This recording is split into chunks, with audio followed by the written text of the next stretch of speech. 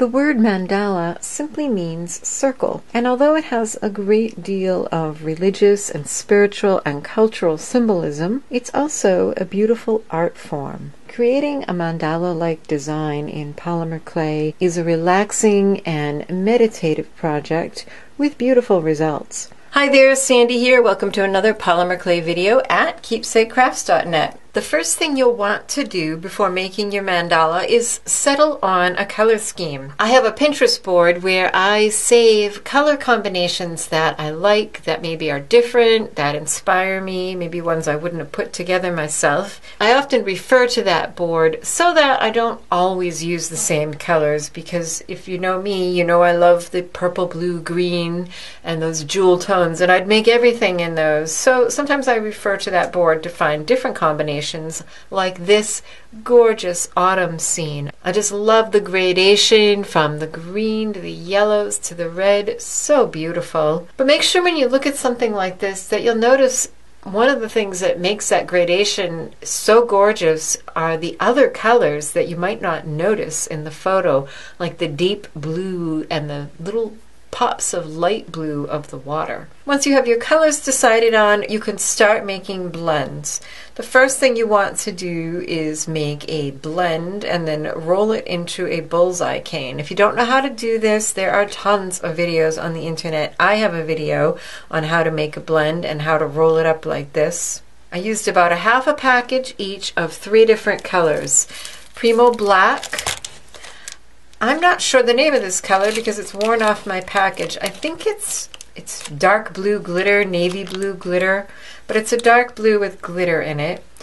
And Sculpey Souffle in Robin's Egg. Once I made my bullseye cane, I left it fairly large so that I could use this as the background.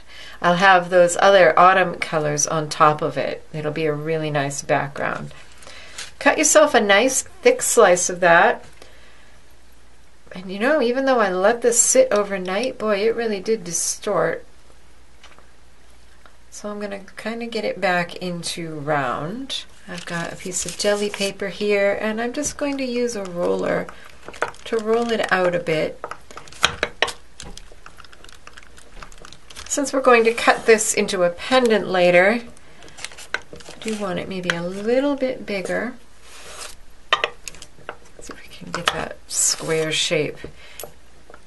Funny, I let this sit overnight before slicing it and it just squashed right down to an oval when I cut it in the slicer. So I, it's really quite distorted. So I'm going to roll this out. Let's see. Maybe, maybe just a tiny bit more this way. That'll be fine.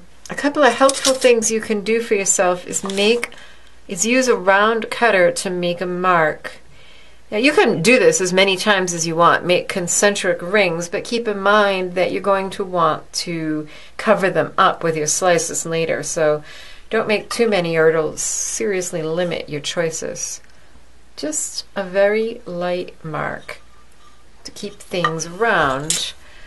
Then I'm going to try to find my largest round cutter that will cut that out. I have this set here. I love all the size options. I'll have a link to this at the blog post. And I'm going to have to tilt this so that I can see it. In fact, I'm going to put this back where it was. That way I can make sure I have this perfectly centered. Looks pretty good. So now I have a nice round piece. This would be a great place to use a tool that will mark something in different segments. I'm going to mark mine in eighths because that's an easy one to eyeball. Barbara McGuire has a bunch of stamps that are radial marking tools and you can mark yours in sevenths or ninths or fifths or whatever suits. But I'm just going to do eight because that's, like I said, easy to eyeball. And I'm just using the blunt end of my blade and looking at it straight down. and then cutting, not cutting, just lightly marking. So whatever amount of spaces around you want, you just need to mark those. I think it would be fun to do it with seven or something, although an odd number does complicate design. So that's our background all ready to go. And here is the blend I created based on the colors in that photo. So here is the blend I created. Lots of vibrant colors here. Notice I didn't worry about mixing it entirely. There's no need to do that. The colors I used are wasabi, cadmium yellow, cadmium red, and I believe this is alizarin crimson. Again, another one. The label's worn off my package. They're all Premo colors. What we're going to do with this blend is extrude it into different shapes and then use these shapes to build a design, a mandala design on top of our blue background piece. So you'll need to choose some dies in a scale that works. Now if you just have like the walnut hollow extruder, it comes with a lot of dies, but I happen to have several from Lucy Clay you could certainly get crazy. I think I may extrude some of these squares. But you could get crazy, certainly, and try building something with, oh, I don't know, like that, or that's a little big. But So it depends on the scale you're working in. That would be a fun piece to play with. A heart, again, that's kind of big. That little star. Whatever, use your imagination. I just kind of went with basic shapes. A teardrop, a circle, a little marquee shape, a triangle, a diamond, and I think I'm going to throw in a square for this one. Choose somewhere around five or six dies. Next I'm going to prepare this to go into the extruder. I'm Just going to cut it and stack it before rolling it into a log. I just think it's easier that way. I'm mostly keeping these aligned, but honestly, it's not a big deal. Now I'll just kind of squeeze that just so that it will fit into the barrel of your extruder. This is still a little big. I have the Lucy Clay, the Czech extruder, which is wonderful, but you don't have to have that. And like I said, even if you only have the set of dies that comes with a different extruder, you still could do this. Oh, and this blend, by the way, was made with about a half a package of each color. So I have a total here of about four ounces of clay. Oh, there we go. Very good. So that just about fills that extruder. Just pick one. It doesn't matter. Pick one to start with and then put it on. There we go starting to come out. I really love the, the Lucy Clay extruder has a little table that holds this so I don't have to grip it with a death grip, which is what I'm doing now. but you're going to extrude about six inches of each shape. Alright, that'll do. Got my six inches. Then you're just going to take the end off, take out that disc, and replace it with a different one. And repeat keep repeating until you have all of your clay extruded. So you, you could go back like I've got green teardrops but if I wanted to I could start over again with another one. This will be plenty to work on our little mandala piece. And this is what I got out of that Skinner blend that I showed you. So I did teardrops, and then the squares, a diamond, circles, the little kind of flat oval, triangle, and then I had a little bit left, so I went back to the teardrop. So now it's time to cut these in slices, but first, once you've extruded your shapes, you really, really want to let them sit overnight so that they can rest before you cut them. So that way you will minimize distortion. Use whatever method you have for cutting. You can certainly just use a blade. So I'm just going to trim off all my ragged ends. That's not pretty. I just love those colors. You don't need to cut these particularly thin, somewhere around a sixteenth of an inch, two millimeters. It's just best to have them be consistent in thickness.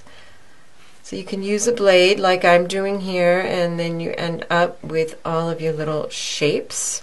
Because you let the clay rest overnight, they aren't all distorted. We've got all these great shapes to build our mandala with. I've done my slicing. And this is, for the most part, about two inches of each of these extrusions. And I still have this left, and I actually did another piece that I'll show you in a minute. Just that bit of clay will give you enough to make several mandalas. Now that we have our base and our pieces ready, it, we can start building. I like having it on one of these little four inch tiles that way I could just pick it up and move it around. So I think I'll start at this green end. And I think actually I'm going to put like a little dot in the middle. I think it will make it easier. I've done a couple of these already and the tricky part is getting the center getting things to meet nicely in the center. So maybe if I put a dot in the middle. You know what? Instead of that, because I really like my blend, I'm going to grab one of these and roll a ball and put that in the middle. For these, I've just used my extruded slices, but you definitely could add in bits of clay like I'm doing here, little sort of clay embroidery things. You can texture them. It doesn't all have to be flat. You can do as much as you want, as many different things as you want. This is just one of those things. It's so enjoyable to do. It's very much a meditative process. Oh, I think that's going to be much easier than the other ones.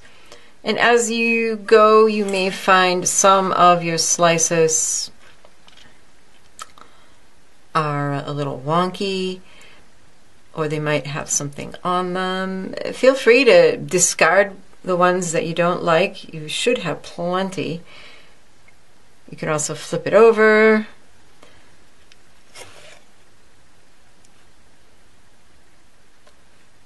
And I'm trying very hard to keep this as even as I can manage, especially in the center, because any unevenness will only get multiplied the further out we go. If you have areas that you need to smooth out, one of these little silicone shapers is great. Also to nudge things into place, like right here I can see that this one is a little further over than it ought to be. That's a thin one. And kind of scoot it in from the outside if you need to fit a piece in rather than laying it down from the top. And I'll speed up this for you well, because while it's enjoyable to do it yourself, like I said, it's kind of a meditative process. I would imagine it could be kind of dull to watch somebody do an entire one. It doesn't take all that long, really. I spent maybe half an hour each on the other two that I made. That's not perfectly even, but it's not bad. And I think that little dot in the middle definitely helped. So now what have we got? Let's see. I guess we have some squares. Maybe we'll do them like this. I'm conscious of needing to cover up that line, although you can kind of smooth it out with your shaper. If you're wondering what that piece of paper is under the tile, it just needs to be tilted the smallest amount so that you don't get glare in the camera. See, there it is. But just having that little bit of tilt, I've noticed, makes it a little easier to look at. A very light touch is called for here when you're doing this because these are clay and you can easily mash them up and totally ruin your shapes. So just the lightest of touches with your fingers, with the tools, because this, these are so small that any little marks that you make, little dents, are going to look huge on the small piece. And if you find pieces or you wreck pieces, which happens sometimes, the way they stick together after being cut, just put them somewhere else so you don't mistakenly pick it up and keep picking up the same one over and over again and say, no, I don't want to use that one. If I wasn't doing it as an ombre blend, then you could just pick the shape that best suits the space you have. I kind of made it more difficult on myself. What else is new? Uh, in deciding that I wanted to keep the blend intact, that means I kind of have to make the shapes that I have got work. If you get your heart set on having a certain shape, you could just go extrude some more clay in the color that you want in that shape, but I'm really not interested in being that picky about it. I just will use what I've got. I like doing at some point, I've done it on all of the ones I've done so far, something like this where I get out to the outside and I use these pointy things, whatever they might be, teardrops or diamonds, to make something that's kind of like a flower bud with three pieces coming out from a single point. Keep in mind as you're doing this that we're going to be cutting this. I mean, you could certainly leave yours whole, but the design that I decided to do, I'm going to be cutting a portion of this to make a pendant so you can, in the end, pick the section that you think looks nicest, that you like the best. We should always try to make it all look as good as we can. But, you know, sometimes some parts just come out better than others. And like I said before, when you get to the outside, any unevenness is kind of amplified. You're like, oh boy, I got a lot more space here than there. What happened? But it's all good. When you're right on top of it, you notice these things and it's like glaring. But then when you back off, you just see the whole and it's like, wow, that looks awesome. Just enjoy the process and you will have something nice at the end. Also, if you have a few dents, like from fingernails, which I seem to keep doing, we will smooth out the top a bit. We're not going to smooth it down flat, but we will smooth it out a bit when we're done. So don't worry about that. This is what I have left for clay, these little bits, and all of this will probably enough for at least one or two more. Here are a couple others I made. Here's one I just made with a blend from my stash. I didn't even look to see if the colors would go. This is another one that I made using the same blend only I started from the dark on the inside and went to the outside. What's interesting is this one has a lot more contrast because the light colors ended up on the dark and the darks on the lights, whereas this one I have the light green on the center light blue and then as the base gets darker, the colors get darker. I don't know which one I like better. I kind of love them both. Once you have it done, you can smooth it out a little bit. Just take a deli sheet, make sure it's clean, Spread that over, and you can feel it's not entirely even. And we'll just burnish this down. This helps adhere those pieces in place. And do it gently so you don't distort. And also, like I said earlier, smooths out any nicks or anything. And now we're ready to make our mandalas into pieces of jewelry. Once you have your mandalas done, you can do whatever you like with them. What I did with this one was I used a shape template to cut out a shape that I liked and then added a backing with a little bit of a border around it. And the next thing to do is to add a textured backing and decide if I'm going to make it into a pin or a pendant and add appropriate findings. What I have here are shape templates that I made if you want to learn how to make your own shape templates, I did make a Friday Findings video on my YouTube channel about this. I found most of these shapes online and cut them out of stencil plastic. And they're really helpful for just choosing an area of a design see, for example, this one, and laying it over to kind of preview and decide which part of it you would like, or if you like that shape with it. I've got these kind of funky shaped hearts, which I sort of like. And I think I really like the way that one looks.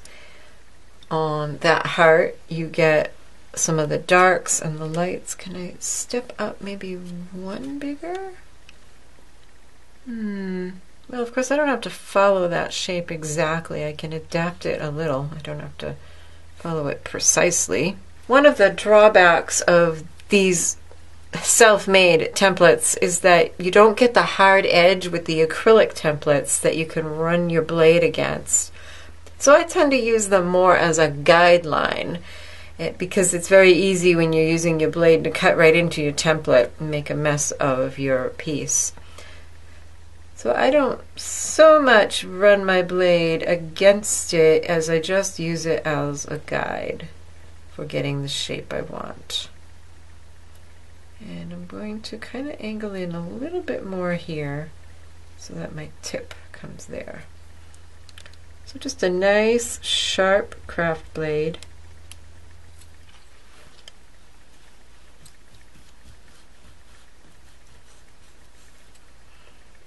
lift that up. And when you're cutting, do be sure to keep your blade nice and perpendicular so you get even cuts.